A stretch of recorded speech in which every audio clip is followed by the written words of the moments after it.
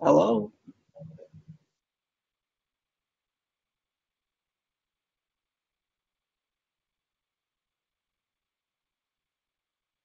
Hello?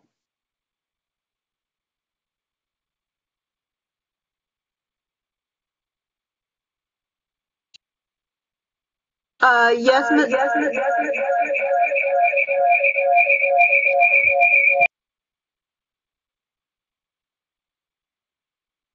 Can you hear me?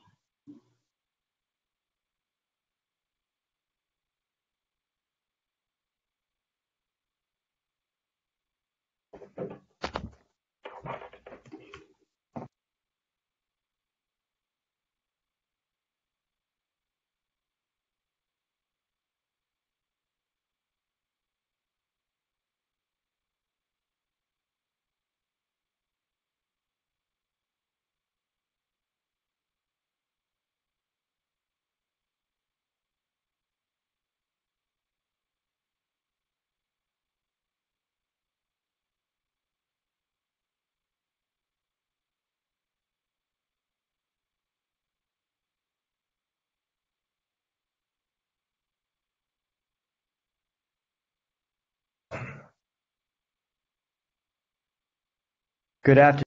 Well, um,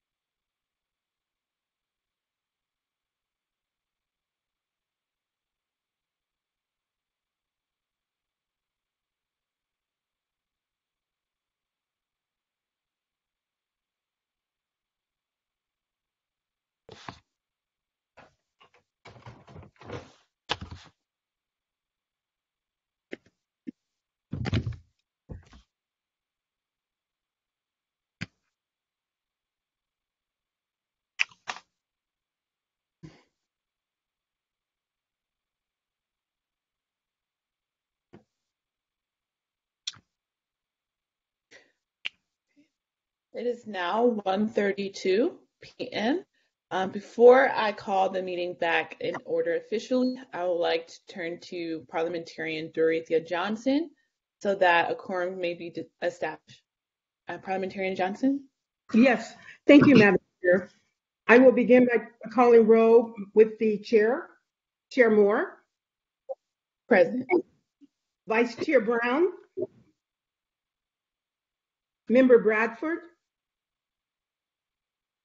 Member Grills, Member Holder, Here. Member Jones-Sawyer, Present. Member Lewis, Present. Member Tamaki, Here. Member Montgomery Steppe, Here. Member Bradford, and Member Grills. Bradford's here. I don't know if he heard Yes, you. I- No, I didn't, I, I did see him though, and I did count him in. Okay. I don't think he can hear me. Um, I'm going to call Councilwoman more. Steppe? Can you hear me? Yes, Yes. I can't hear you guys. okay. Well, your computer- I Councilwoman, if you can hear me, uh, uh, President Pro Tem Toni Atkins told me to tell you hi. Thank you. I can hear you. And she says if I misbehave, let her know. And I'm I going can't to hear you call guys. Amos Brown is present. Oh, I know what happened. Vice Chair Brown, thank you. Madam Chair, the task force consists of nine members. Five are needed for a quorum, and there are eight members present. A quorum is established. Thank you. Now that a quorum has been established, this meeting has been officially called back into order. I hope you all had a great break. We'll now turn to agenda item number seven, which is the witness panel number three, recognizing current efforts at reparations. So I am excited to uh, to introduce three uh, witnesses today. Our first expert witness is Professor Mary Frances Berry. Professor Berry has a distinguished career in public service. From 1980 to 2004, she was a member of the United States Commission on Civil Rights, and from 1993 and 2004, served as the chair. Between 1977 and 1980, Dr. Berry served as the Assistant Secretary for Education in the U.S. Department of Health, Education, and Welfare. She has also served as Provost of the, Uni- of the University of Maryland and Chancellor of the University of Colorado at Boulder. In recognition of her scholarship and public service, Professor Berry has received 35 honorary doctoral degrees and many awards, including the NAACP's Roy Wilkins Award, the Rosa Parks Award of the Southern Christian Leadership Conference, and the Ebony Magazine Black Achievement Award. Professor Berry teaches the history of American law and the history of law and social policy at the University of Pennsylvania. Um, not sure whose mic is hot, but if it is, may you please mute it. Thank you very much. So our next expert panelist is Deadria Farmer Paellmann. Deadria Farmer Paellmann is a legal strategist, adjunct law professor, and human rights activist. In 2002, she filed a landmark class action lawsuit for slavery reparations against blue chip corporations. She is credited for popularizing the slavery reparations movement through her groundbreaking research exposing corporate complicity in slavery. In January of 2000, she exposed and secured an unprecedented public apology from Aetna Incorporated for writing insurance policies on the lives of enslaved Africans with slaveholders as beneficiaries in the 1800s. Her research linking various blue chip corporations to the slave trade led to them making a $20 million payment to the African American community in 2005. Her litigation strategy in a case filed against slave trade corporations for consumer fraud resulted in the first reparations court victory in American history in 2006. Lastly, we'll hear from Thad Brown. Thad Brown is a native of Jackson, Mississippi. now residing in Los Angeles, California. He is a graduate of Tougaloo College and began his professional career with the Atlanta-based municipal bond underwriting, firm Jackson Securities, founded by former three-term mayor of Atlanta, Maynard H. Jackson.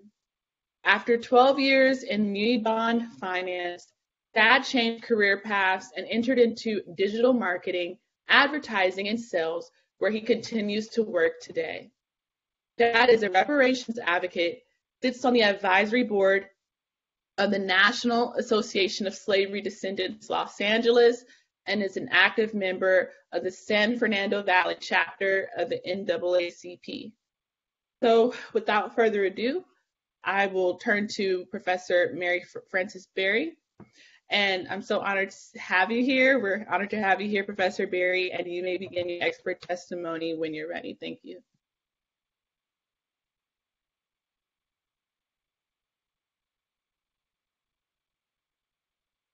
Am I muted before I start can- talking?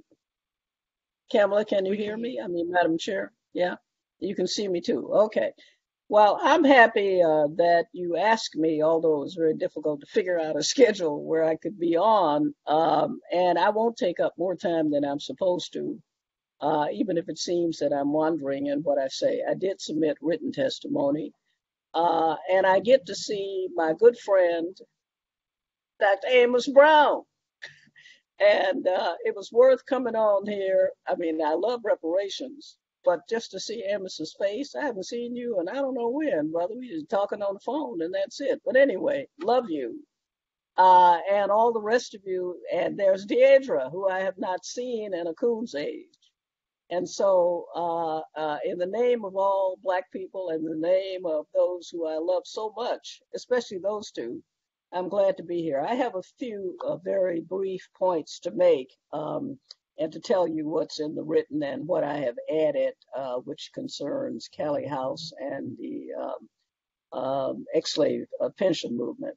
First of all, what I'm about to say uh, comes basically from my own experience from uh, uh, the Callie House book that I wrote, My Face is Black uh, is True, and the research on her, and the book that I am uh, forth is forthcoming from the University of Illinois Press that I did with V.P. Franklin and Sundiata Cha-Jua, uh, which is on reparations and rep- reparative justice. And the rest of it is just whatever comes into my head as I'm talking. But it's important. This is a great subject.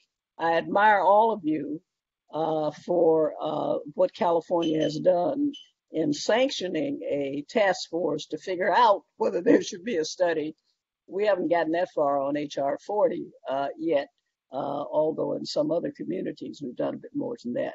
First point I would make is that reparatory justice, reparations, have to be have to fit within the internationally recognized principle of morally just acquisitions and transfers. And that must be applied to the conditions of Black folk, uh, African Americans uh, in the United States. Uh, and whatever is acquired or transferred uh, must be morally just. Um, and the morally just reparatory justice requires restitution. That's the first thing. Recognition, restitution for the loss of personhood, property, and lands. And it includes also uh, looking at the damage that's done, which is what you will be doing, I assume, uh, on the inquiry in California, as is done in other places, to people and places in pursuit mainly of financial profit uh, state and federal governments, individuals, groups, all can do a work of trying to repair the injustice that has been done. But governments have a responsibility where they have condoned, implemented, facilitated, benefited from uh, the injustice that has been done uh, to. It is altogether fitting and proper that the state of California should uh, try to do something to remedy the harm that was done to African Americans uh, there. And maybe uh, it seems like it's taken us a long time to get H.R. 40 or something passed uh, from the federal government. Uh, state and local communities and state governments have a responsibility too. I listed in my written testimony some suggestions of things that could be looked at where real harm was done, aside from the usual discussion that we've been making recently about closing the wealth gap, which is important, uh, the asset gap, which which is all which is important, but looking at major pharmaceutical companies and how they have profited for the harm that they've done with opioids and other things uh, and researching that. If any study is done, it ought to be uh, that ought to be one of the items uh, that will uh, be uh, looked at. That is looking at big pharma, for example, and trying to figure out, you know, how do we repair some of this harm that's done from people. There's a reparation superfund idea and student loan debt because of the harm uh, that I described of people getting student aid and, and having all those loans and going to institutions that uh, do not educate them and do not provide the benefits that they promise that they're going to give to them with a net loss of what little bit they had before they ever went to take uh, these uh, uh courses. They have been victimized, and students have been victimized by education departments, not only at the national government, but at the state level, where they have refused to be uh, exercise due diligence and do what they should do so that these students could not be taken advantage uh, of. It is also the case that institutions, colleges and universities like Georgetown, which famously uh, wouldn't exist if they hadn't sold those slaves in order to get the money to pay for the university to persist, but others that have tried to do something about student fees where they recognize the harm that they uh, that they have done some public universities are trying to figure out how to get uh, reparations funds to take care of the harm. Uh, that in fact, uh, I would think that students in California, uh, universities in California, the state ought to be doing something, and that should be one of the subjects uh, that should be there. The other thing is that I often say when I speak at universities in California and colleges that a lot of people do what free Negroes had to do during slavery which is you paid taxes to purport, support public universities, but your children couldn't go to them. You paid taxes to support public schools, but your children couldn't go to them because they were black. Uh, and so here you were paying twice. You've got people, and I've spoken at some of these campuses in universities where their kids can't get into the University of California any place or they can't uh, go to any place where it do them any good. Or if they go to one, they can't get in the programs that they would like to major in uh, because of the number of students that are there. And so they end up going to private, what I call moderately prestigious private universities, where they pay a whole lot in tuition and fees and everything else. But their parents are paying taxes to support the public universities and the public colleges in the state to which uh, other people are able uh, to go. Many of them also in California, and I've talked to lots of people where this is the case, send their children out of state to places. Just like in the old days of segregation, the states would pay in Alabama and Tennessee and so on for black folk to go out of state to go to school somewhere where they didn't have something in the state to get rid of them because of race. Here we're talking about blacks having to pay twice pay taxes in California, and then send their children out of state to go to school so that they can get a decent education. I think that all of these issues, testing industry, testing industry has done enormous harm to black people. I detail some of it in my paper. I served for a number of years, among all the other things I served at, uh, the advisory board of the Educational Testing Service. And we concluded over and over again that standardized tests should not be used as the only uh, uh, way of figuring out who should be admitted to a particular program or an institution. Because standardized tests give you some information, but they don't give you the information you need. It is horrible that you have uh, things like happened in uh, San Francisco and in New York uh, City and other places. In Philadelphia, we have the same problem where black kids can't get into uh, elite, even high schools, based on this uh, standardized test or score tyranny And it's also the case that many folks can't get into colleges and universities and professional schools, law, medicine, so on. Uh, since Bakke, it's even worse uh, because of standardized uh, test scores. And I have written letters of recommendation for students, white students, black students, Latinos, Asian Americans, who did poorly on standardized tests, but who were very smart and had been in my classes and all that, and gotten them into institutions of higher education where they would not have been admitted based on their test score. So I think that there ought to be some kind of investigation of all of that uh, too.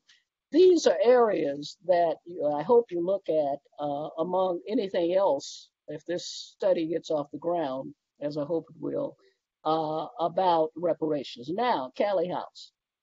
The important thing about Callie House and the ex-slave pension movement is not only the details about her being a black woman who had been a slave, organizing a, a protest and a movement, which had, according to the federal government that hounded her until they put her in prison uh, for organizing, uh, had over 300,000 uh, members who were paid dues. The dues were cheap, like 25 cents a year, but they paid them. Uh, and they were members, and they were people who had been slaves. And she managed to do this with only a grade school education and being a washerwoman and having been a slave, just like a mama was a slave and so on.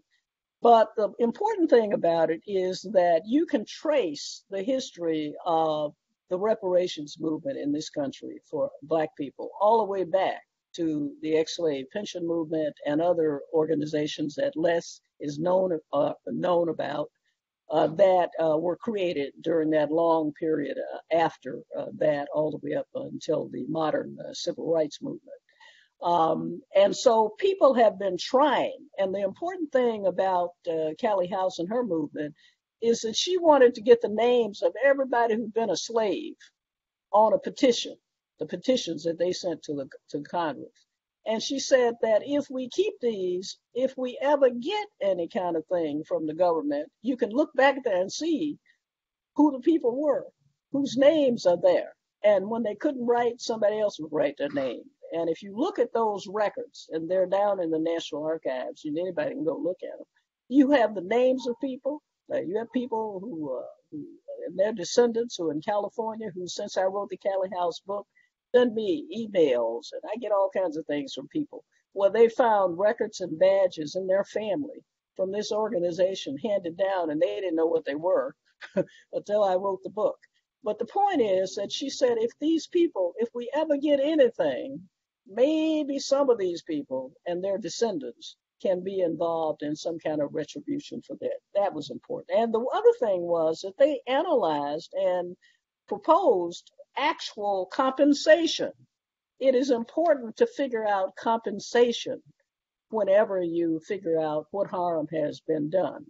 One of the things my dear brother Desmond Tutu, who passed recently, and I disagree uh, on, and I love Desmond Tutu, uh, we got along was that uh, you can ha- you can't have reconciliation, in my opinion, unless you first have information about what happened. Then you have people who are sorry for what they did, and you figure out a way for them not to do it again, and you have compensation.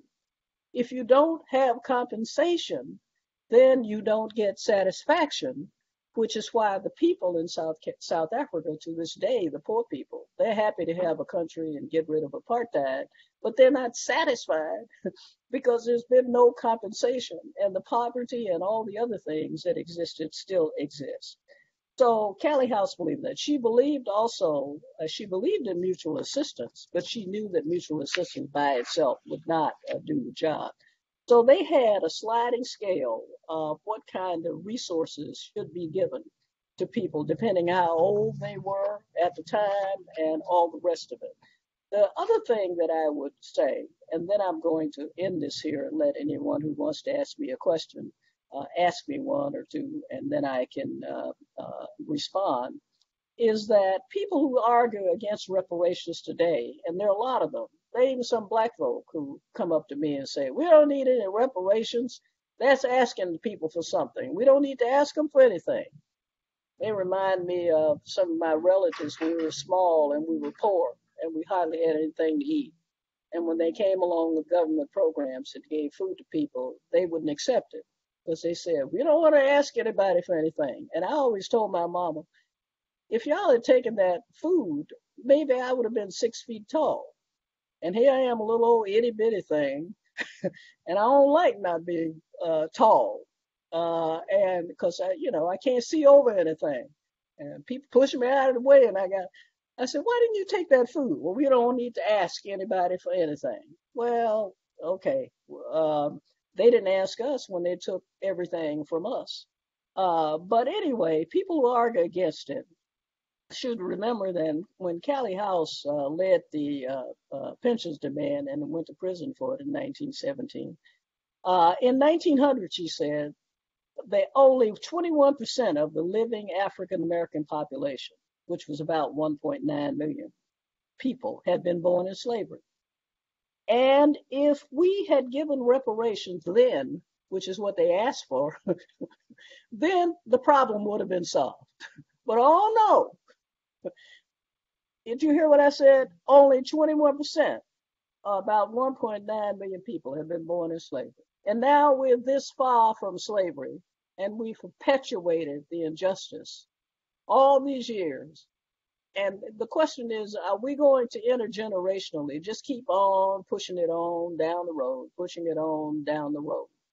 And that's all I have to say. And all of you know more than me because seeing who you are. But I hope that that is, gives you some help. Thank you.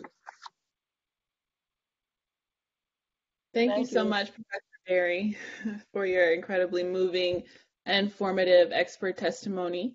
So we'll now turn to Deadria Farmer Paellmann. Deadria Farmer Paellmann, you may begin your expert testimony when you're ready.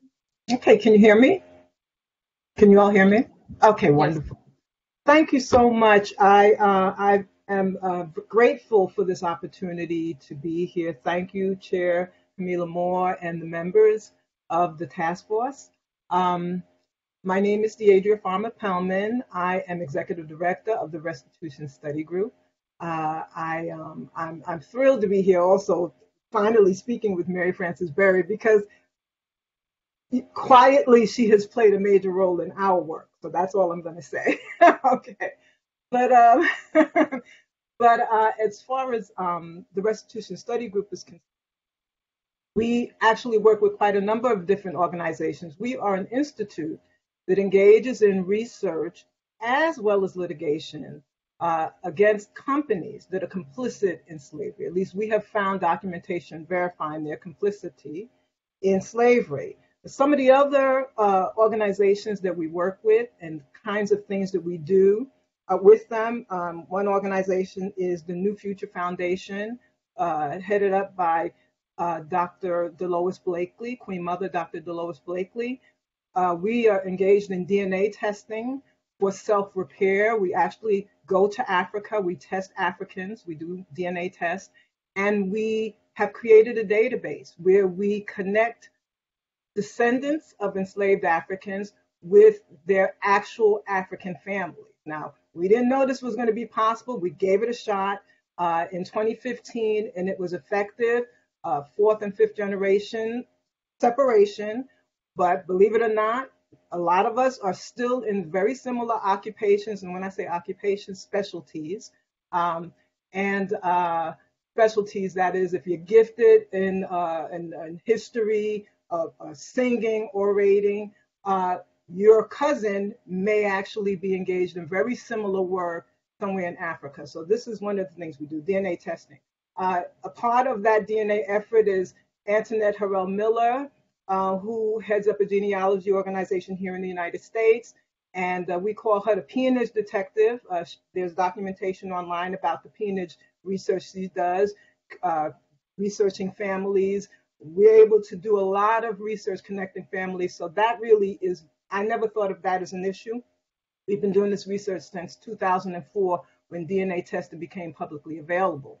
Uh, in addition to that, we also, in, in, in addition to her, we also work with uh, Sister Empress Chi, uh, Chi, who is the founder of the Million Women March, the one that took place in 1997 out of Philadelphia. We work very closely on the issue of genocide, and in particular, most recently, we issued uh, uh, an open letter to the President of the United States, who is the person who carried the genocide uh, bill through Congress, which is the law of the land. It's called the Proxmire Act, and we are asking for him to use that law because it addresses many of the issues that, uh, for example, HR 40 would address. Because quiet as is kept, descendants of enslaved Africans are victims of genocide. And I'm going to talk a little bit about that. And that is the injury that we all continue to suffer from, in part because we don't, we've been uh, separated from our national and ethnic groups, uh, and we are subjected to conditions in life that are really destroying our, uh, our survival in whole or in part. And these are issues, these are areas that are covered by the genocide law, the Proxmire Act. Okay, so how did I get involved with all of this? Um, I'm going to say that I was sort of spiritually drawn to the, the work around reparation. Um, I was uh, uh, actually an activist in the gay and lesbian community where I worked with musicians, women drummers in particular. And I was invited to help with a, a, an event at the African Burial Ground in New York City because I knew a lot of women drummers. Um, what was happening was that a, a, burial ground had been unearthed, a burial ground uh, from the, I guess it was from the uh, uh, 1700s, and it was filled with the bones of what they realized were enslaved Africans. Uh, they knew this because some of the burials, uh, some of the remains uh, had uh, teeth. Thank you, number one. Thank you, dry bones. Right. Some of the uh, some of the uh, enslaved people had teeth carving. In other words, there were carvings on their teeth that were clearly traced to African tribes. Okay. So um, so this this burial ground was just outside the wall, Wall Street, and the enslaved people were actually considered the original stock at the stock market, which was an area that was just just blocks away. They were bought and sold right on the waterfront uh, in in Lower Manhattan. Um, I was invited because I was um, uh, involved with media. I worked in the press office at the Department of Health, just one block away and uh, it was very convenient for me to walk over. But this image that you see on the screen now is a, a, photograph taken by Chester Higgins Jr. down in the burial site. I actually saw this live. I was shocked. Uh, if you look at the face of this enslaved person, this skeleton, you see the mouth is open. Now, not all of them look this way, um, but uh, this one in particular had the mouth open, and I was I I thought did they did I asked did they die screaming, and and I was told no. Um, they this the the bone uh, the bones opened up when the jaw muscle deteriorated, but I was absolutely horrified. I was haunted. I had to do something, and I made a decision that I was going to try to find out, you know, more about what I could do to deal with this issue of reparations. Now, why reparations? When I was a kid, my grandfather used to always talk about the 40 acres and a mule that we were owed. And um, it stayed with me. And uh, I knew that there was something here. And so I applied to law school. And I specifically um, declared that I wanted to be an architect to build the case for reparations. And needless to say, I didn't get accepted to too many law schools, but I certainly got accepted to the one that I needed to go to, and that was New England School of Law in Boston, Massachusetts, that happened to be right next door to Rhode Island, which turned out to be one of the most critical states engaged in the in the slave trade. And I'm going to talk a little bit more about that. Now, um,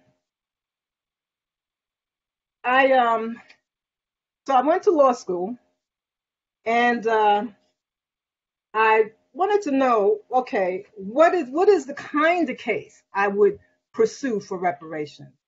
And I thought it was going to be the government, but after uh, learning about, and I was there at a good time because there was a case out of California, Cato v. US, where there was a decision uh, that uh, the folks could not sue. There were people that filed pro se, that was on their own behalf without an attorney.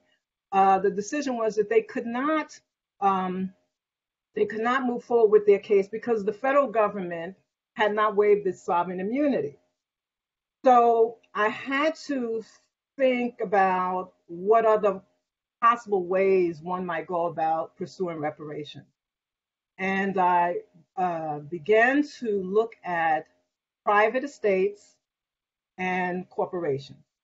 And the reason why they seem more accessible is because I learned about other arguments that could be made other than, for example, uh, you know, a case against the government. Um, I looked at something in the area of, of equity, the law of equity, or the law of restitution. And basically, you know, what I learned is that, you know, if you can make an argument that a party has been unjustly enriched, uh, you might be able to persuade a court to decide in your favor. And so that was the, the theory that I was moving forward with, unjust enrichment. Um, I uh, did this paper and ultimately uh, applied to um, to an inter- for an internship. Actually, I worked with N'COBRA. That was when law students are typically trying to get into law firms. I was looking for the place I could build this case. N'COBRA, my, my mentor was on, on the panel earlier today, the person that supervised me for a whole summer, Adjoa Aiyetoro. Um, spent the whole summer working with her. I studied the 13th Amendment, I think maybe even some 14th Amendment, but mostly 13th Amendment. But we didn't touch on these this particular theory, but at least they knew my heart was there. I had to wait until I graduated from law school to begin developing a case. And one of the companies that I learned about, and thank you so much for switching the slide, was uh, Aetna, Aetna Life Insurance. As a student, I, I learned that they had written slave policy. So when I graduated, I called them up and I asked them, you know, for copies of slave policies. And in particular, I asked about policies that might have been written on my own ancestors. And they said, well, we don't have any from the state we were from, South Carolina. Uh, but we'll send you what we have, and we'll send you some things on some other companies as well. And so, what you have here in Figure Two is a copy of a slave policy written by Aetna in the 19, I guess this was this, this the 50s, I mean the 1850s, excuse me. Uh, but this was written on the life of, an, of, of a group of enslaved Africans. Okay, the beneficiary of this policy was the slave owner. Okay. So if you look, you, you, you can see the young ages. You, the 10 year old, there's a 10 year old, there's an 18 year old, a 15 year old, 19 year old. It even lists their occupations nurse, cook, uh, and so on and so forth. Bottom line is that these policies were written at a time when the transatlantic slave trade had closed. A lot of uh, uh enslaved people were expensive, and um, and and a lot of uh, uh, uh, folks might not have purchased an enslaved African, but for the fact that companies like Aetna, they go ahead, make the purchase. If they die, we have you covered. Now, they didn't cover for the full value of the enslaved person's life. Um, and if, if you can see in those those columns uh, here, you can see the value of the person might be 400, but they're covered for 300. And that was to discourage the slave owner from working the enslaved person to death. Um, but nevertheless, it did happen. Uh, and ha- in fact, it happened in the case of, uh, for example, New York uh, Life Insurance Company. They were called the Nautilus Company. When they were founded, uh, 100, their first 100 policies, uh, one third of them were written on the lives of enslaved Africans. And the first policy that was ever paid out was on the life of an enslaved African, someone who worked in coal mines. And this is one of the things that these policies help make happen. Uh, the employment of these expensive humans, these expensive chattel, in ultra hazardous capacities. So, one of the things you have to think about, you know, when you see that New York Life Insurance Company commercial, is that it's the company that made it possible for us to be enslaved in ultra hazardous capacities, and they made money off that. One third of their first uh, investment, this is where, where, where the money came from, from ensla- uh, slave policies. Um, well, um, when I when I pulled Aetna up, I didn't call up alone. I did reach out to reporters to let them know what was going on. And that was in part my own insurance, so to speak. Um, I didn't want them to think, you know, I was trying to do anything for myself. I made it very clear to them that I wanted them to create a trust fund that would benefit the descendants of enslaved Africans. I wasn't interested in anything for myself. This was for everyone. And uh, they said they would do something, but when the story hit the media, they changed their mind. And at that point, it became clear that I might have to do more than just call them up and give them a chance to be proactive and do something great. Um, one thing that worked in out in my favor at that time was that uh, uh, Tom Hayden, uh, a senator from California, learned about Aetna and decided that he was going to uh, to uh, to uh, introduce a bill that initially was called the Aetna bill. Okay, and I think he made that decision very quick. Probably like the story broke in in, in late February, Black History Month in 2000, and by by March he had already introduced the bill. And by the end of September of, of 2000, the bill had passed. It became the first slavery era disclosure law in the United States. And uh, it required that any company, any insurance company doing business in California would have to report on their, uh, their role in slavery. Now, this bill was not just designed for the state of California to be informed, um, but it was designed so that descendants of enslaved Africans could have access to documents that would help us to reconnect with our families. I mean, once again, I mentioned earlier uh, the uh, the DNA testing that we um, that we are engaged in, and that's all part of reversing this thing called genocide. Okay, uh, so these bills were designed to assist in that process so that we can find ourselves, so we can pull our families back together. Uh, so that's I want to mention that because I'm going to talk a little bit more about those bills in a second. Okay, so I'm listing a few of the companies that ultimately we realized we just had to sue. Fleet Boston Financial Corporation, today is called Bank of America. Uh, they, they were in the litigation, and so were these other companies. But basically, there were the banks played a role in, uh, in, in, financing uh, slave trading voyages, or they uh, gave loans to slave owners and used enslaved people as collateral. These are some of the circumstances. Uh, the insurance companies, like I said, Aetna, New York Life, these are companies that that uh, played a role in, in, in, in financing the enslavement. Lloyd's of London, very unique. The Zong case, you're going to see a little something about that. Uh, comes out of Lloyd's of London, uh, uh, companies that were engaged in the same kind of business Lloyd's of London is involved in. They finance this transatlantic slave trade, okay? Uh, and uh, the way they worked was that if an, if an enslaved person was sick during the voyage, uh, it, it, the, the policy, the practice was to dump them in the ocean while they're still alive. Because if they get to the shore and they die, these companies will not pay the insurance to the folks that, are, uh, that, that own the slave trade voyage. Okay, so Lloyd's of London, that's pretty much what they stand for. There were other companies involved in that. Uh, AIG uh, uh, uh, is another uh, insurance company, sim- similar stuff. Uh, we these are companies we sued, by the way. CSX Corporation, these railroad companies, they used enslaved Africans to lay the tracks. Those same tracks that we ride on today around the country, enslaved Africans laid those tracks. They brought in folks from other countries at some point, but enslaved Africans laid those tracks throughout the South and other parts of the country. Uh, the tobacco companies, you know the story. That's a little bit more typical, what we know of planting and, and packing uh, tobacco. So these, these are the kinds of things that uh, the, the, kinds of companies we sue.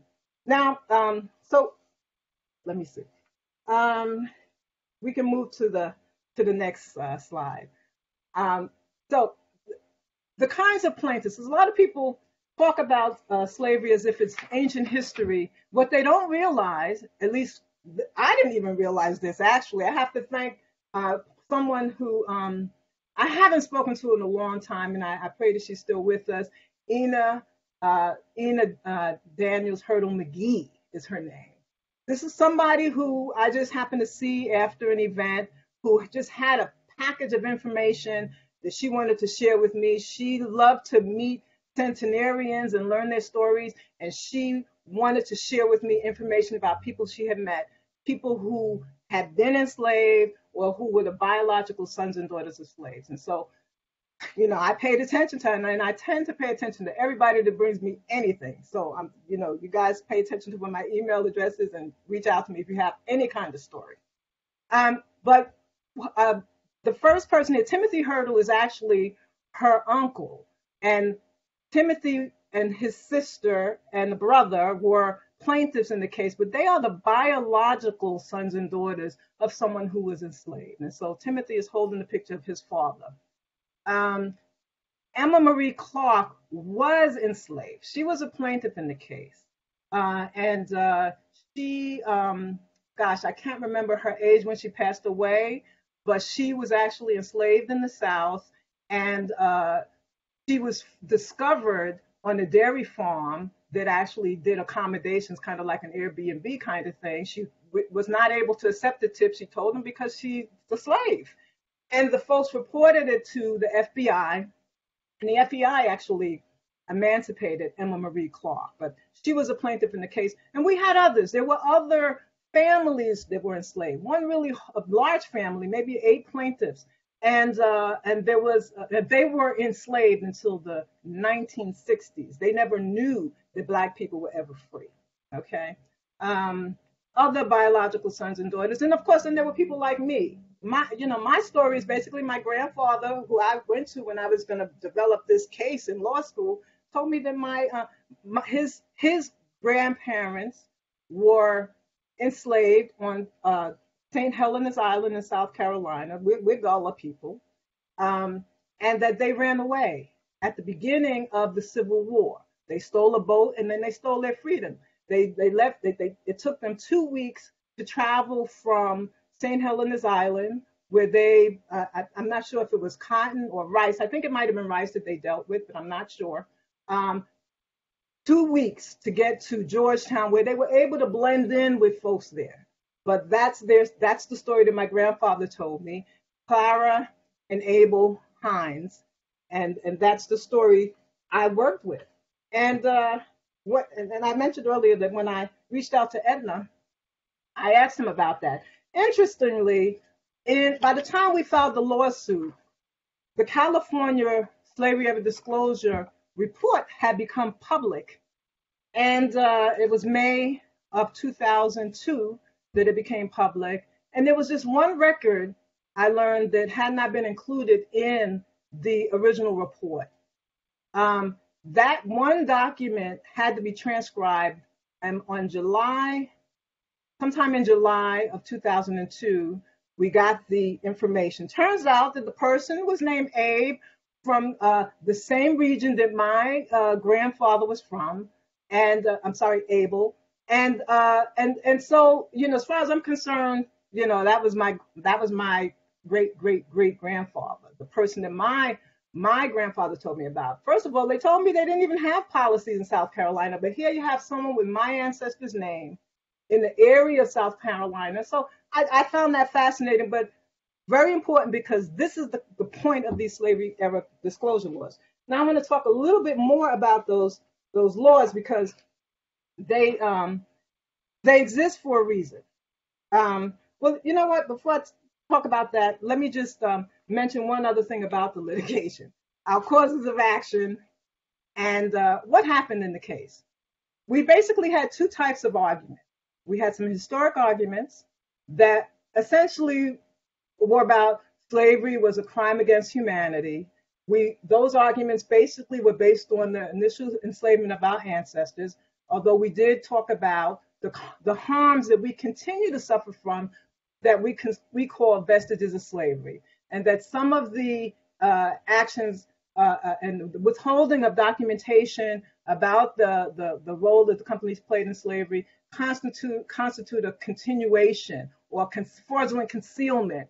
And the court did not necessarily go with those arguments for everyone, but they did recognize that there were some plaintiffs who had standing, who themselves suffered the injury and were or were close enough to, for example, being the biological sons and daughters of slaves, that they could carry their case forward. And so those cases were allowed to move forward. The next category, uh, the next argument we have were consumer fraud arguments. And those were based on the fact that many of these companies, when confronted uh, with information about uh, their role in slavery, lied. They lied to the public. And, um, you know, it's interesting because there was a, a, a law review article written by Tara Kola Ramchand- Ramchandani from Harvard University, where she talks about the judicial recognition of harms of slavery, consumer fraud as an alternative to reparations litigation. And basically, what she argues is that if we were able to, to complete our litigation, we would have been successful on the basis of the consumer fraud arguments. And that is because the court actually held that we can move forward with our consumer fraud arguments. Okay. I'm getting. Okay. Okay. Are we okay? Should I continue on? Yes, please. Okay. Um, we that the consumer fraud arguments were good, and so that was the good law, and that is why we say that we had an unprecedented legal victory. You know, no, no, never in the history of our freedom have we had any kind of victory on the issue of, of reparations. And here, in the context of consumer fraud, the court said we could move forward. Unfortunately, we ran out of money and we could not pursue those claims, but nevertheless, the precedence is there. And so at this time, we find ourselves with companies who, believe it or not, continue to lie about their role in slavery. And they're doing that in the context of the slavery era disclosure law. Now, I mentioned those earlier. I talked about California having been the first. In California, you guys, you are the first in so much. Thank God for you. Um, about 14 other slavery era disclosure laws have been passed around the country, all of them sort of following in the steps of Tom Hayden. Um, they are in municipal governments or they are state governments, just a variety of them. But you happen to have a few really great ones in California, and one that I've been paying attention to is in San Francisco. Uh, and I've been tracking their reports, and I have discovered that one company really is very stubborn about telling the truth about their role in slavery. And at this point, I'm going to give you what I think the Restitution Study Group can help you with. Uh, you need to know who who should pay. Uh, I don't think it should simply be up to the taxpayers of California. Um, I do believe that these companies that are lying on these slavery era disclosure reports should be held accountable. And um, some of the laws, like the one in San Francisco, does create the opportunity. First of all, these companies can be punished um, based on their profit uh, uh, uh, for, for, how for their lies about their their role in slavery. But I want to tell you one of the companies, and I'm going to sort of hint at one because we're still doing research about the, around the other one. But Bank of America, unfortunately, do they do not want to share the history that they have in slavery. And what's unique about it is uh, that they uh, played a role in slavery. Their predecessor company, um, uh, the bank was called the Providence Bank of Rhode Island. Um, bank of America issued their slavery era disclosure report. Um, and let me see, I think it was on this, in the 17th, I think, uh, no, 2017, June of 2017. Let me see, this may be a little earlier than that, but let me just say this, that the report is part of a a, a, a report that was issued by the clerk for 2017. Bottom line is that they claim to have done research on the Providence Bank of Rhode Island and have found no documentation connecting them to slavery uh, or, or the slave trade. But it is widely known that their bank, Providence Bank of Rhode Island, is a bank that served slave traders. And in fact, slave traders founded the bank. It was founded by John Brown, who was a, an advocate for the slave trade. He was like the major spokesperson for slavery in the state of Rhode Island. He founded the bank. He was engaged in slave trading at the time, and so were many of the other uh, uh, shareholders. And the bottom line is that it's very difficult to find the documentation, but we were blessed to have gathered up primary documents for at least 28 voyages. And just for these 28 voyages, the violation of state and federal law should have yielded the current value $35 billion. Okay. This is how much money they should have had to pay. Of course, this is the present value based on the number of slave trading voyages and the number of enslaved Africans. And so, just to give you an idea, that's just one example. Another example is a company, as I said, we're still working on the information, but uh, they'll know who they are when they hear what I'm saying. Um, they, um, this particular company is associated with Barclays.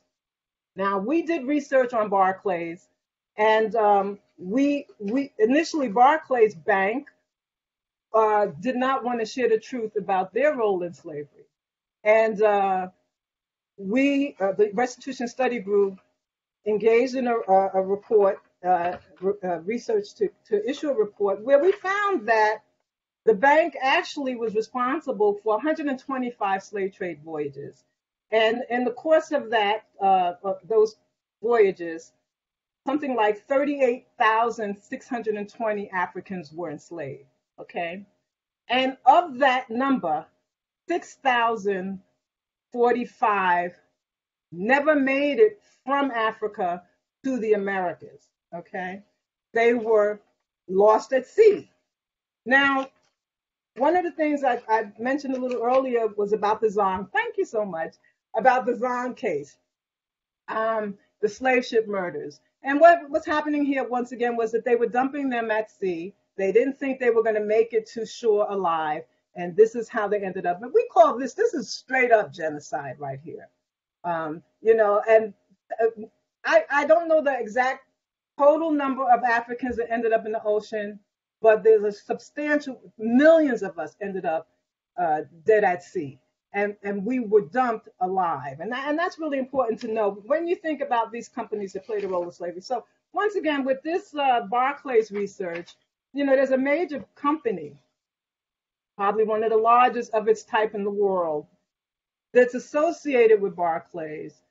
And on their report, they did not mention anything about these this 38,620 uh, enslaved Africans associated with their business. Um, so what I say to uh, to you all is that please do consider these companies. There are many more. As far as the restitution study group is concerned, we are engaged in, in preparation for litigation against some of these companies because, of course, there are consumer fraud laws that are being violated. We all are relying on these reports to be able to trace our, our, our ancestors. We want to know, you know, who, where did these folks end up? And that brings me to one other issue that comes up a lot. It's very controversial, but I'm going to put it out there. Um, who who should be compensated? Okay. Now, based on the research that that we do, the restitution study group, we know that with these companies, especially the ones that engage in the transatlantic slave trade, the people that they enslaved did not all end up in the United States, right? I'll give you an example with uh, with Bar with the Barclays research. Of of that 38,600, just give you some percentages. we use the transatlantic slave trade database to gather this information. But we know that 48% of them ended up in Jamaica. Okay. About 8% of them ended up in the United States. Okay. Uh, so this is one example. As far as Bank of America is concerned, um, there the numbers, the the places that they were dropped off are different.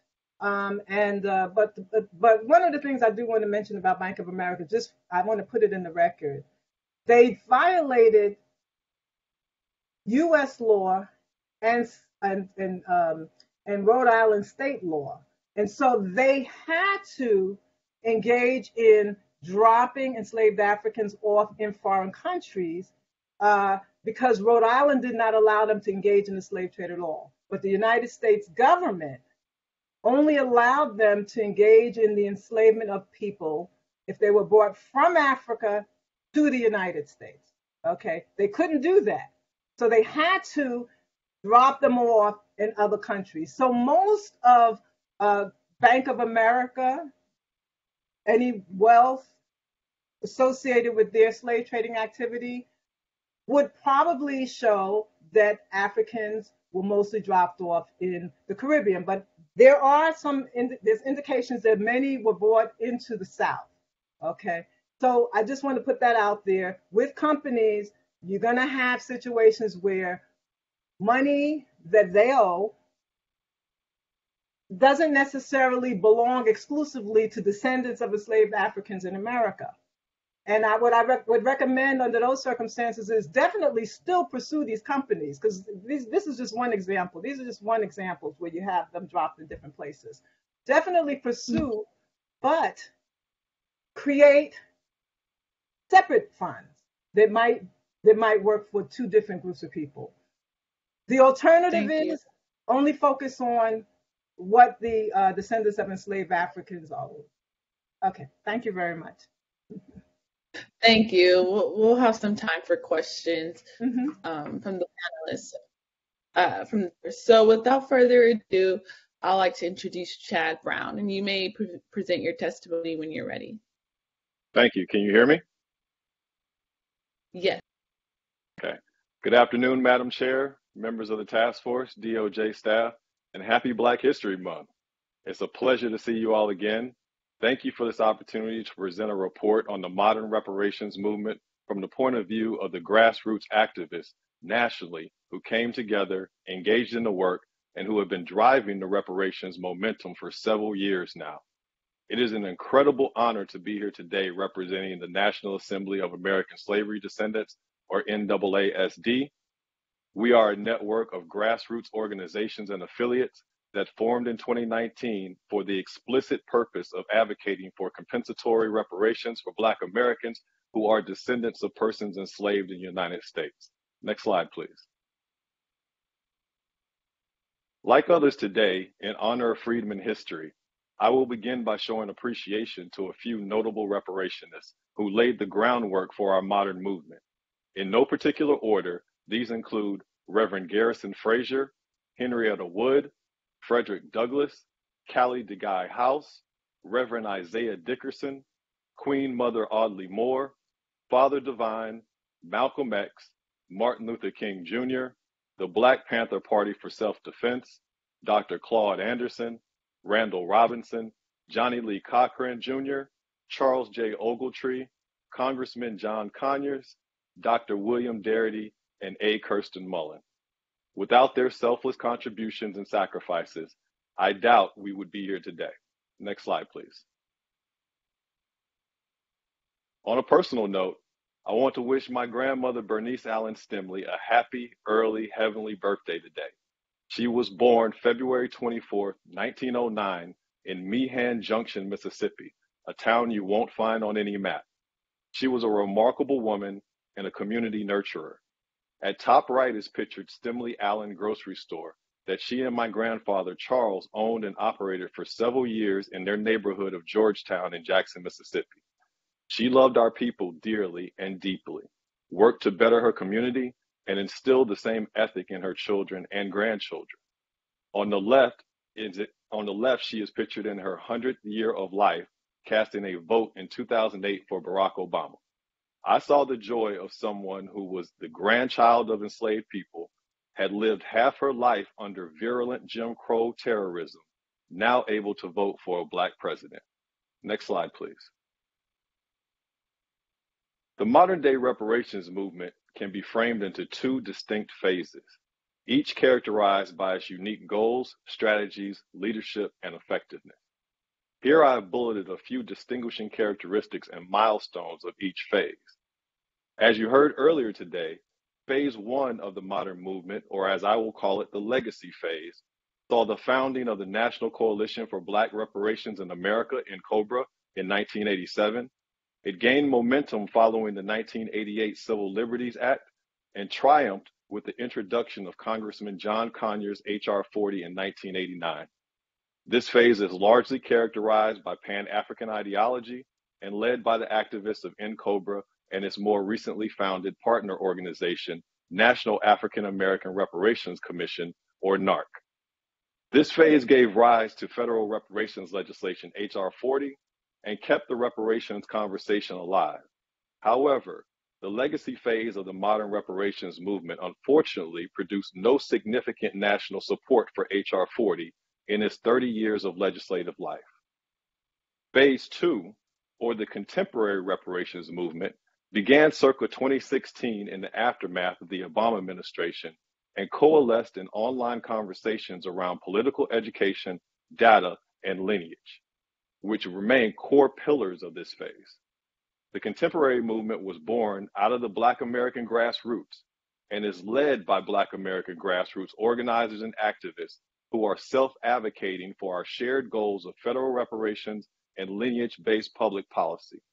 It's in phase two that organizations such as NAASD and Coalition for a Just and Equitable California, or CJEC, were born. The grassroots advocacy of these and other contemporary reparationist groups is principally responsible for mainstreaming reparations and for moving congressional and public support of H.R. 40 to an all time high. This contemporary phase of the modern reparations movement is where I am most familiar and is where I will focus today. Next slide, please. The contemporary reparations movement began largely in response to the failure of the Obama administration to produce any tangible results for most of Black America. For eight years, other groups received policy and protections, while Black Americans received a consistent diet of symbolism, apathy, and cautious rhetoric. Adding insult to injury, the federal government's response to the extrajudicial murders of Eric Garner, Mike Brown, Tamir Rice, and Laquan McDonald was the Blue Alert Act, which granted more protections to police officers. Contemporary reparations view these years as a failure, one, of both the federal government to specifically address the Black American community's interests, and two, of the Black political apparatus to focus on reparative policy agendas and hold our elected officials accountable to them. Next slide, please. The contemporary reparations movement is also rooted in quantifiable data. A central tenet of contemporary reparationists is that if it can be measured, it can be improved. Grassroots reparations activists across the country are studying, tracking, processing, and advocating for wealth data that uncovers the specific, unique, and urgent economic plight of Black American communities. When reviewing the Obama years through data, we were able to see that the outcomes specifically for Black Americans were disastrous. Between 2008 and 2016, Black American wealth declined sharply as white wealth hit new heights facilitated by government bailouts and financial assistance, further exacerbating the lineage wealth gap. In online conversations, everyday Black Americans began to discuss what effective Black politics could and should look like. With burgeoning political education and a lens of data, Black America's decline as a result of government policy became very apparent. Data also revealed the unique nature of Black American divestment compared to other Black groups. With release of the multi-city color of wealth reports in 2016 by Duke University, the New School, and UCLA, Contemporary reparationists gained access to disaggregated Black wealth data, and for the first time, the wide wealth disparities between Black Americans who descend from U.S. chattel slavery and more recent Black immigrants came into full view. In summary, we learned lineage was the key and that Black American politics must be agenda focused and lineage first. Next slide, please. Since formation, it has been NAASD's position that Black American descendants of U.S. chattel slavery are the appropriate beneficiary class and that any reparations effort must center the descendant community based on lineage. This is also not a new concept. In his final book, Where Do We Go From Here? Chaos or Community? Dr. King writes, Every man must ultimately confront the question, Who am I? and seek to answer it honestly. Who are we? We are descendants of slaves.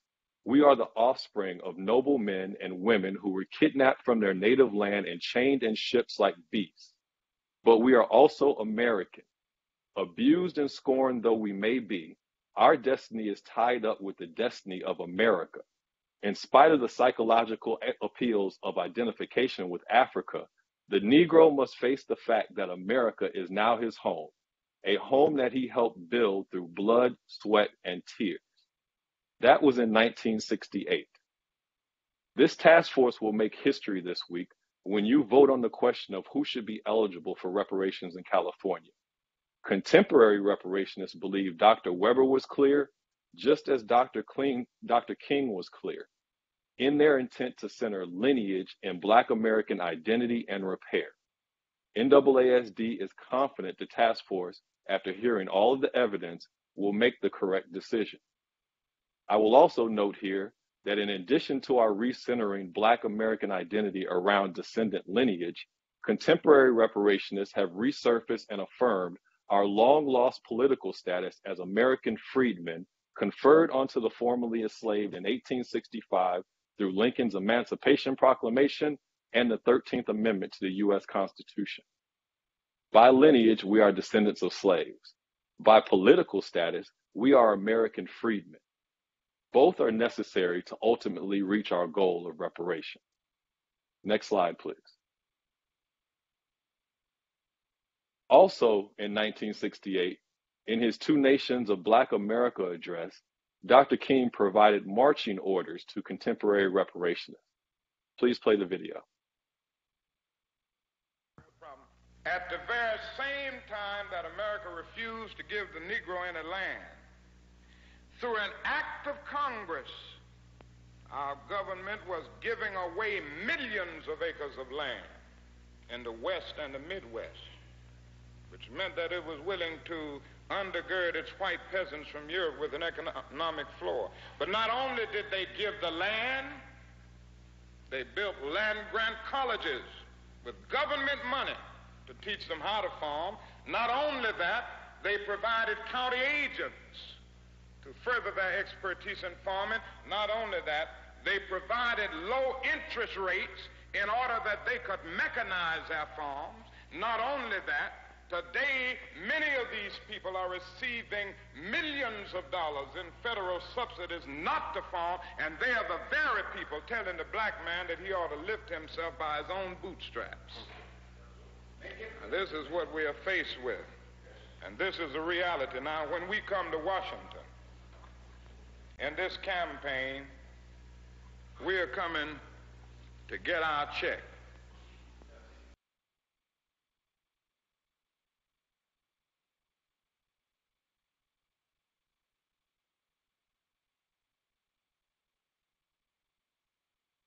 Next slide, please.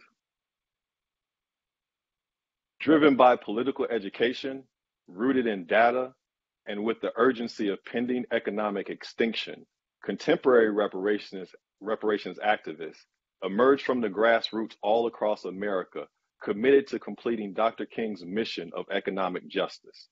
We came together offline, we organized, and we went to work.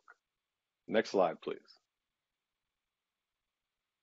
As we spread the, the, the lineage reparations message in our communities, the contemporary movement grew from hundreds to thousands to tens of thousands and soon to be millions. Next slide, please. Grassroots Black Americans across the country took action and began to self advocate our collective interests, centering reparations and lineage specific policy. Next slide, please. We sought out our representatives, both locally and nationally, and demanded their support of, for reparations in exchange for our political and voting capital. Next slide, please. When the COVID 19 pandemic shut down the country in 2020, contemporary reparationists continue to advocate virtually, utilizing technology to communicate and to organize.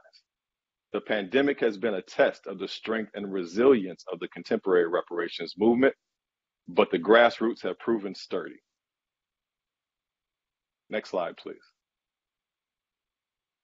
When corporate interests attacked the Civil Rights Act of 1866, seeking to roll back our oldest and most fundamental constitutional protections, it was the grassroots reparations activists that rallied and protested on the steps of the Supreme Court in our collective defense. Next slide, please. Here you can plainly see the impact of the second contemporary phase of the modern reparations movement. Before the emergence of contemporary reparationists, H.R. 40 had not achieved more than 50 co sponsors in any legislative session. It is the work of grassroots reparationists nationally that should be properly credited for the nearly 200 congressional co sponsors now attached to the bill. The chart to the right shows the dramatic and correlating increase in internet searches for reparations, which took off circa 2019, again pointing to the powerful impact of the Black grassroots. Next slide, please. The grassroots reparations work has been effective, compelling on Juneteenth 2019 for the first time in a decade a hearing on H.R. 40 by the House Judiciary Subcommittee on the Constitution, Civil Rights, and Civil Liberties. On that day, anyone paying attention could again see the Black grassroots impact throughout the halls of Capitol Hill. The Black American grassroots were clearly demanding to be heard on reparations. Next slide, please. On the subject of H.R. 40, it's important to clarify the position of NAASD and of Black American contemporary reparationists. H.R. 40 is a poorly constructed piece of legislation that has undergone significant revisions in recent years. These revisions threaten its integrity and chances for success. Among its myriad of flaws, stand out the fact that one, H.R. 40 does not specifically identify eligible recipients for reparations. Two, H.R. 40 does not speak to direct payments to eligible recipients. Three, H.R. 40 does not identify closure of the lineage wealth gap as a primary goal of reparations. And four, H.R. 40 does not identify the federal government as the capable and culpable party for reparations. But in addition to those legislative flaws, the April 2021 ver- revision of H.R. 40 removed application of the Federal Advisory Committee Act, the FACA, that ensures transparent deliberations, public meetings, and ongoing public reporting, while also maintaining GS 18 equivalent compensation as payments to commission members. That is unacceptable to contemporary reparations. For several years, NAASD and our affiliates supported H.R. 40, but we have also persistently advocated for edits to fix these flaws in order to strengthen the bill's chances of becoming law. Thus far, our calls have gone unanswered. As grassroots Black American reparationists, truly and selflessly committed to the goal of reparations, we find ourselves unable to support H.R. 40 any longer. Stated clearly, support of H.R. 40 in its present form is not support of Black American reparations. Our community has been awaiting reparations for more than 150 years, and we deserve strong federal rep, federal leg- legislation that has the best chance of success. Next slide, please. Notably, NAASD's position on HR 40 aligns with leading reparations scholars Dr. William Sandy Darity and A. Kirsten Mullen, foremost American constitutional scholar and UC Berkeley Law Dean Erwin Chemerinsky, and Mr. John Tateishi, former director of the successful Japanese American Redress Campaign that produced the Civil Liberties Act of 1988. On an issue as paramount as reparations, it would be foolhardy not to heed expert warnings. I believe everyone on the task force agrees that California is leading the reparations conversation and that what is done here will resonate with the federal government. In that leadership capacity, part of your responsibility is to advocate for federal legislation and a process that mirrors AB 3121, particularly in specificity on eligibility and transparency to the Black, Black American grassroots community. Please be bold in that leadership. Next slide, please. Policy writing is a core component of NAASD's contemporary reparations advocacy, and we have developed a strong alternative bill to H.R. 40 that we are calling H.R. 1865, paying homage to the year of American freedmen emancipation. H.R. 1865 has the support of Dr. William Darity and A. Kirsten Mullen, and NAASD is presently seeking a congressional sponsor to introduce the legislation. In the same way contemporary reparationists uplifted H.R. 40, we will build grassroots support around H.R. 1865, a true reparations bill. In addition to improved federal reparations legislation, in August 2021, NAASD released the historic Repair Act, which is an acronym from reconciliation, equity, protections, atonement, investment, and remuneration. The Repair Act is a lineage based policy platform designed to address the deep inequities Black Americans face across all areas of socio-economic activity. We have shared the Repair Act with various Biden administration staffers, including the Domestic Policy Council, whose feedback was that it was the most comprehensive policy package they had ever seen from a grassroots advocacy group. Priorities for presidential action, a subset of the Repair Act, consists of 12 legislative memos that can immediately be enacted via presidential executive order. Chief among them are formation of a John Conyers Reparations Commission based on H.R. 1865, creation of a new census designation specifically for Black American U.S. slavery descendants, and reestablishment of a National Freedmen's Bureau. Next slide, please. Specific to California, NAASD, CJEC, and our local affiliates have been advocating around AB 3121 before there was a bill called AB 3121. And when formally introduced in the California State Assembly, members of NAASD Los Angeles and CJEC played a pivotal role in crafting eligibility language that appears in AB 3121 law today, setting it apart from HR 40. We worked closely with Dr. Shirley Weber's office, state legislators, and community stakeholders for years to advance, raise awareness, and ultimately pass AB 3121 into law. This hard work was recently recognized with the selection of CJEC as an anchor organization to this task force. Other local legislative efforts of NAASD and CJEC include AB 1604, 1604, the Upward Mobility Act of 2022. This bill, introduced in the current session of the California State Assembly, consists of language that would, for the first time ever, require all state agencies, boards, and commissions to disaggregate the Black African American category in their data collection and collect data specifically on the Black American descendant community.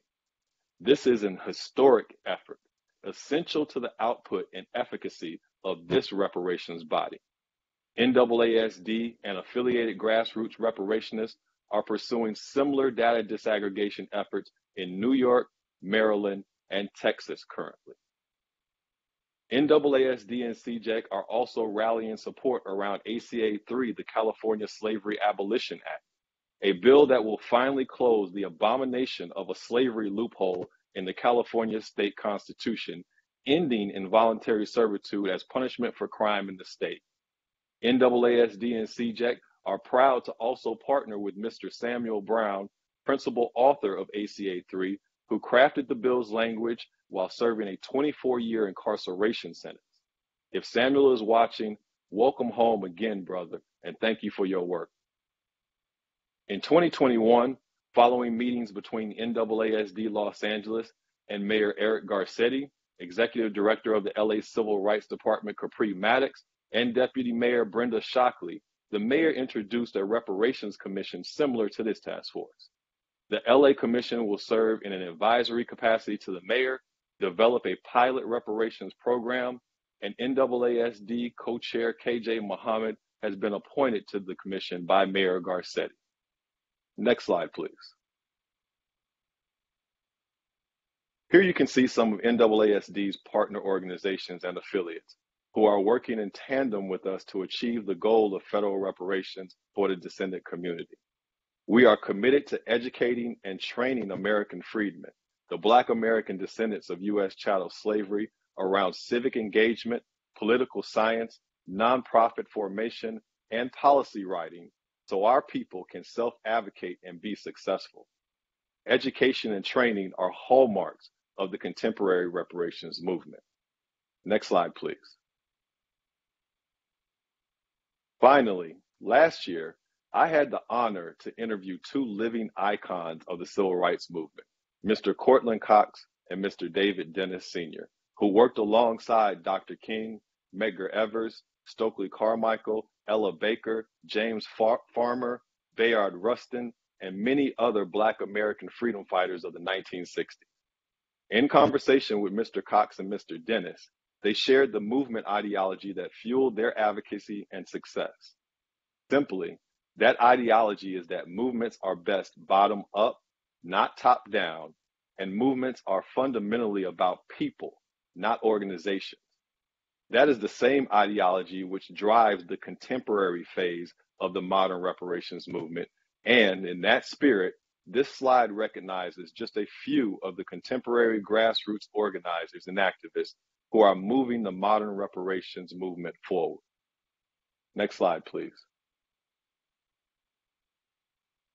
In closing, we descendants of American slaves, the emancipated American freedmen, the builders of this country, the overwhelming black majority in this country, are owed a debt of reparations by the US government.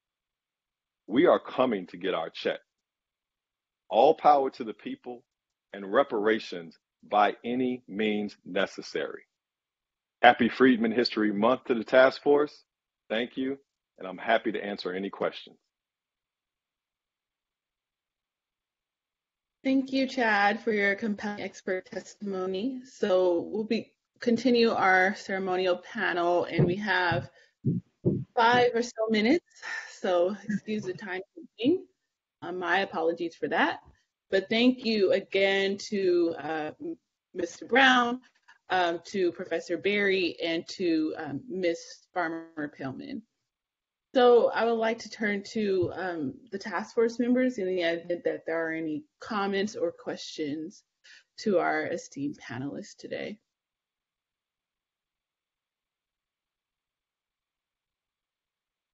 Madam Chair. Brown, you're recognized. I just only wanted to say it's it's a wow, wow, wow, wow moment.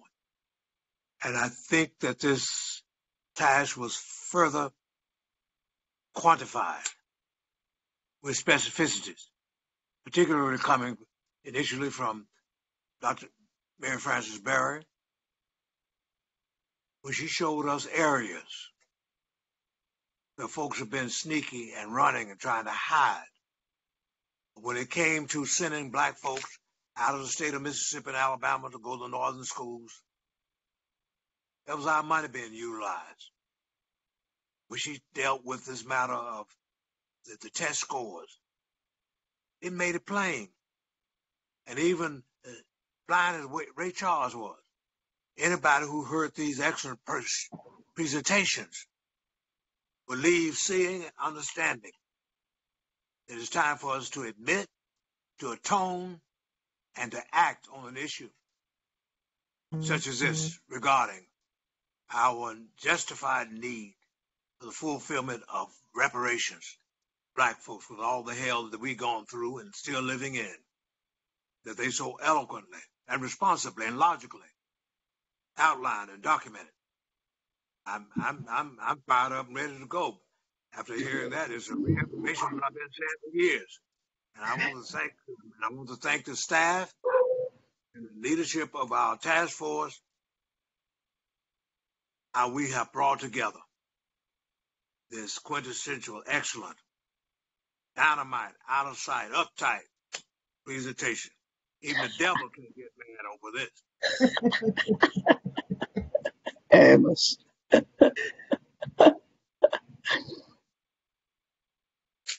Thank you, Vice Chair Brown. Uh, I had a question. It's a clarifying question for Ms. Paellmann. So in, in your introduction, I read that um, you successfully um, sued on like a slave trade suit and uh, won a $25 million settlement for the African American community. Could you kind of just elaborate on that or clarify that for me, please? Yeah, let me clarify that. No, without litigation, um, you know, my, one of my attorneys spoke earlier today. Um, um, um, gosh, uh, basically, in the halls of justice, justice is in the halls. Let me just put it to you that. Uh, and uh, so the funds that I that I mentioned um, in in my bio that you mentioned earlier actually were paid by companies who had been exposed due to the litigation. Okay, so uh, so um, bank not not Bank of America, but J.P. Morgan Chase put money out. Wachovia, although they did not, they were not part of the litigation. They did put out money because they could very well have become part of the litigation. They knew that. But one company I didn't mention, actually, it's a university. Brown University created a $100 million endowment that most folks don't know about, not even the students on the campus right now. A $100 million endowment was created as a result of research that we presented to them. They created their whole task force based on documentation that we provided to them and our request that they do something. So $100 million endowment, still there. Okay. Okay, thank you for that. Are there any other comments or questions?